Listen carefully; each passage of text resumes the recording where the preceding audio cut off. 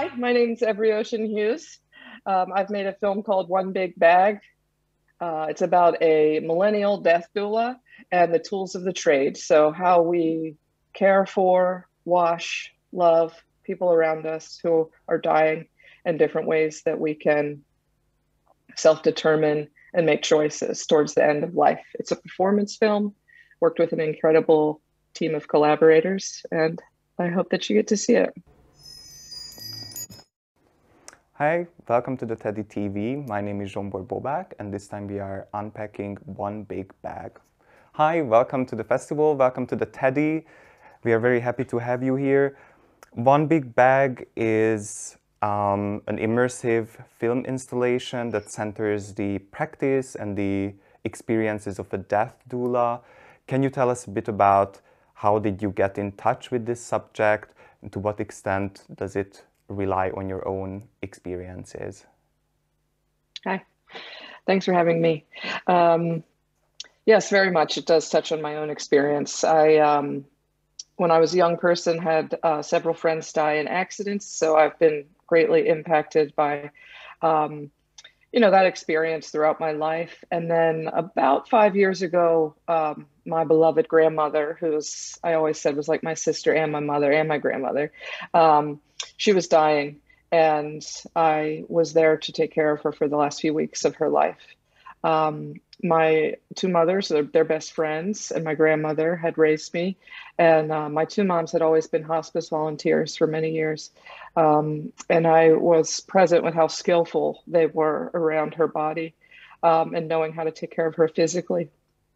I really stepped into the role of uh, kind of emotional, spiritual support, um, and wanted to think about both of all of that as as skills. Um, and so I started to study and train as a doula how to do home funerals, take care of um, dead bodies, wash them, um, and all of the kind of practices around them, and to um, yeah. So that's on the one hand. On the other hand, I had for many years been, um, you know, maybe like 15, 20 years, been making art projects, um, photographic projects, performance projects around uh, the queer inheritance, queer legacy, queer history. Um, and uh, a lot of, well, we'll say I was so that I connected to that and the um, early um, hospice centers that were built around the AIDS crisis, um, communities of care that developed, and how those became political communities. Um, and so those I think of as the two deep roots for this work. Yeah, I see. Also, this piece, um, the performer in it uh, takes um, a very particular queer perspective. Um, and at some point, it is detailed how um, queer experiences with death um, and with uh, saying goodbye to the deceased is very different than for um, for non-queer communities. Can you talk a bit about this? Yes, one of the mm, I think of it as a point of gravity for the work was really trying to think about like the queerly bodied people and how we pass and how we can take care of each other.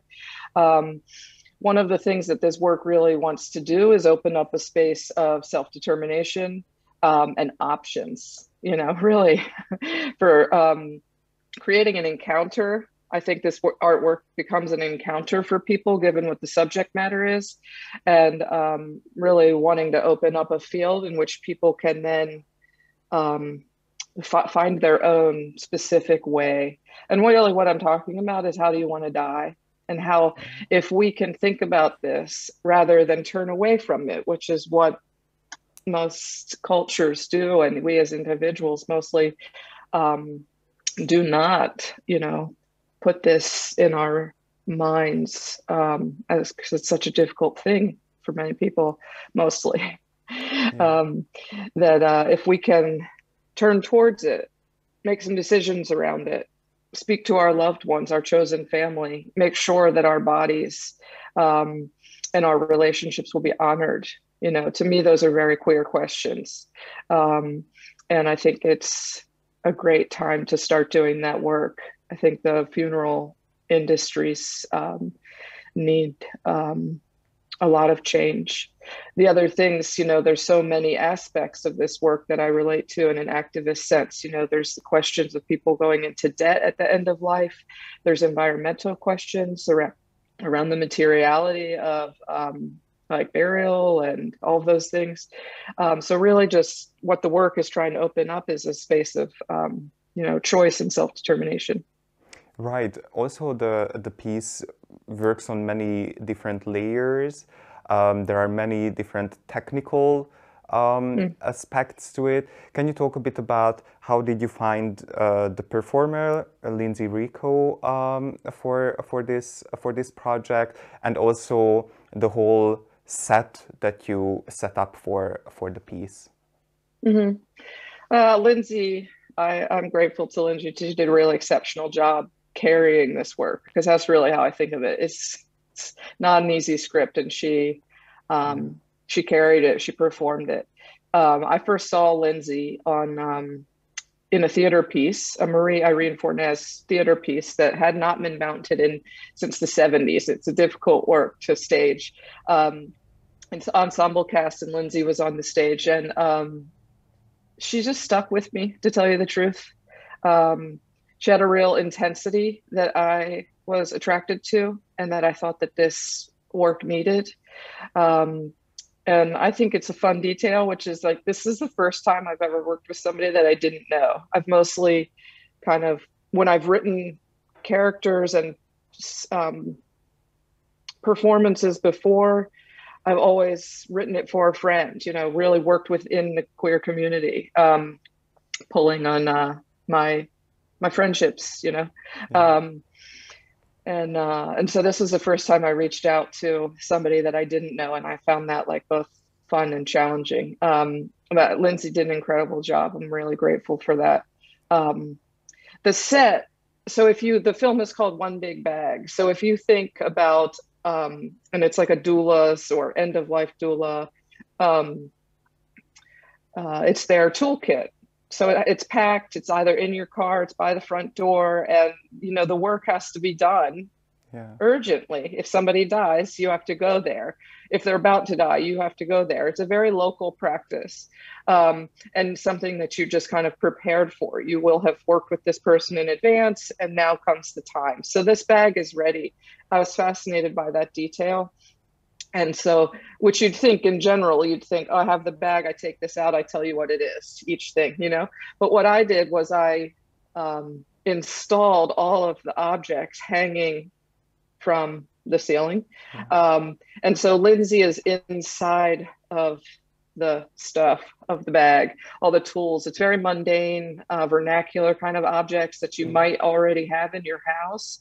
Um, and I like the idea that then they come to profound use. Um, and so, yeah, it's Lindsay's fluency in the space. I worked with a choreographer, Miguel Gutierrez, to really be um, intentional about the way that she moves, the way that her movement is interacting with what she's speaking, how she's speaking it. It's very matter of fact, yeah. it's information.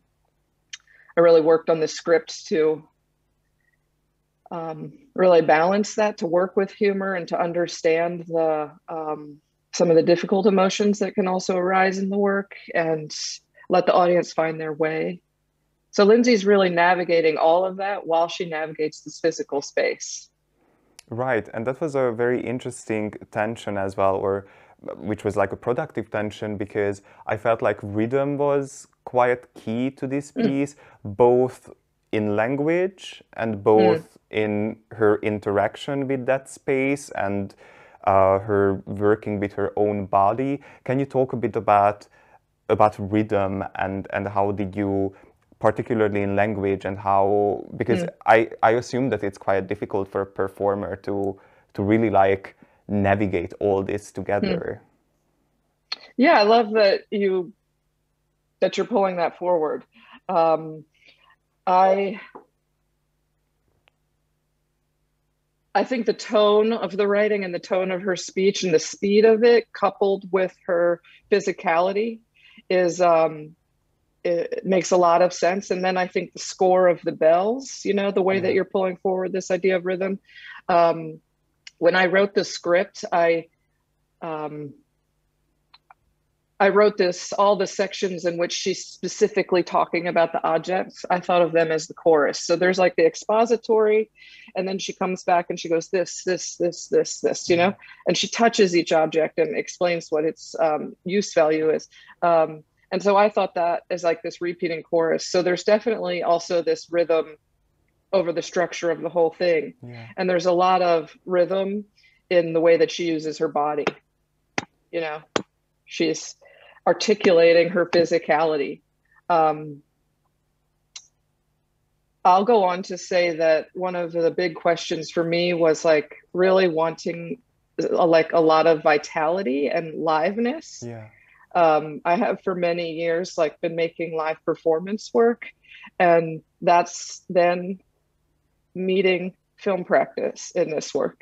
Um, so I really wanted to think about like, how is this live? You know, with her directed dress, she's, you know, often if sometimes like looking right at the camera, this idea of a monologue, this way that it's staged in that room, all of those things have like, you know, these kind of like, um, yeah, they're the, like, is comes from like live work, you know, and then the mm-hmm. film and the way that we edited it and the way that um, the liveness is captured, um, her performance, and and thinking about that in terms of like, you know, capture life and death and really trying to use both mediums if that makes sense yeah absolutely um, and I, i'm happy that you point out this liveliness in the piece and mm. and and all of that and the humor of it um, i thought it was very interesting because at the end of the day, we learn about the practice of a death doula, and then somehow it's obviously this air of death is is around and mm. how to deal with that, but then from a very alive perspective.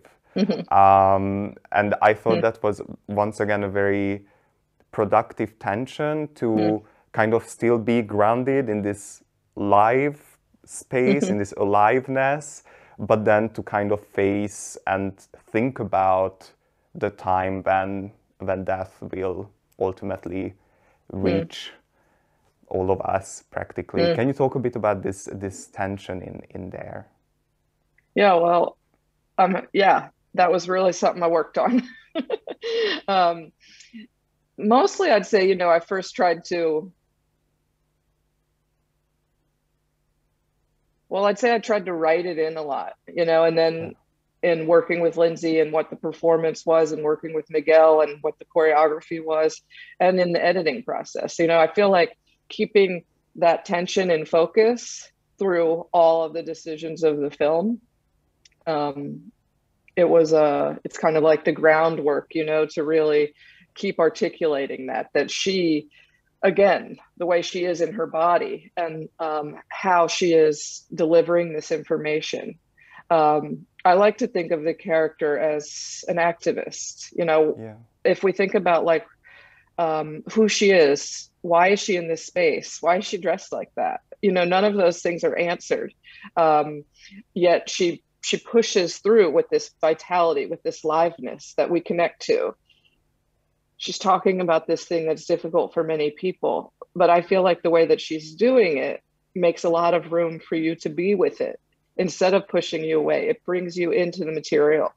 Um, in all those ways uh, you know this tension that you speak of i tried to work with it throughout.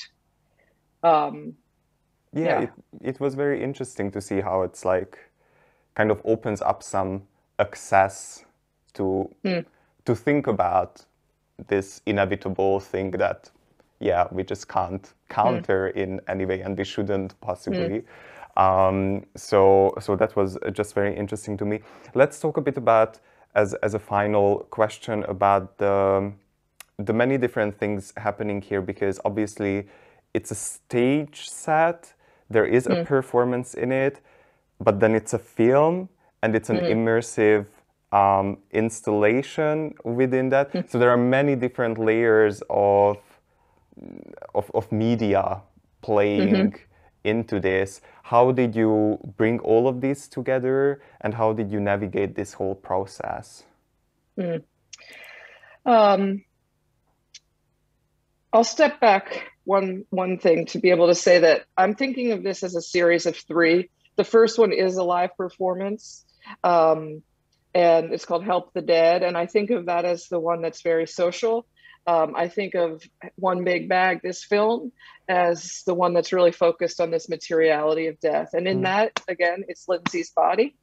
Um, it's the way that she's performing, it's the intensity that she brings into the room, and it's the materiality of the objects and her relationship to them, that she runs into them, that she, you know, a lot of the objects were also like kind of using in a different way than they're usually used. And like there's that scene where she's like making a lot of the soundtrack she's making with her body, like running into all of those bells. Um, so yeah, I think that focusing on the materiality of this work is also how it goes from you know the idea to the script to the installation to the performance and then also to how the viewer is in the room in relationship to all of that. Um, so my answer is kind of that by saying you know to that the um, that really by focusing on this kind of materiality both of her body of the objects and of the viewer I feel like that's how I made all of these decisions mm. about the different um, mediums and materials in the work, the way that it can exist and how somebody is in relationship to it. Yeah, wonderful. Thank you very much for for this. Thank you. But first of all, for for this very intriguing project, especially that it was all taken from a queer perspective. I think it's mm. it's very important to to think about this in general for everyone, yeah. but probably for queer communities in particular, since there are many difficulties around this subject. That's right. Extra difficulties posed yes. Uh, to these communities. Um, so thank you very much, and thank you for the interview. Yes? I just want to add one thing. Yeah. Which is like, uh, what I think of is kind of like in the middle of the film, there's this one line where it says, um, in big life events, norms get recentered. Yeah. And um, I think you know you've brought this up a few times, and that's why I'll throw it in here at the end. That was really one of the things I was working on. Like that's mm. why this film is so explicitly queer. That's where it comes from inside of me and inside of my practice. Is this um, we don't want to have lived these lives, made all of these choices, and um, and and struggled to live the way that we want to live in this life, and then at the very end of our lives, be um, be under you know this either the funeral industry or religion or your biological family comes into play when you wish they didn't. Um, so i really want to open this up you know and that's why i think yeah. of it um, as one of the you know most important ambitions of the work to not let it be a moment where norms get recentered. Let's do it how we want to do it. Yeah and i think it's it's conveyed so yeah. Okay. thank you very much again thank you. for this interview thanks